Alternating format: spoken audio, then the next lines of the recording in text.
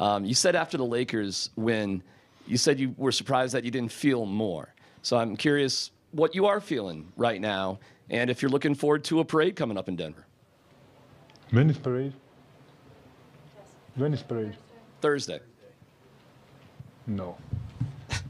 I need to go home. Okay. Uh,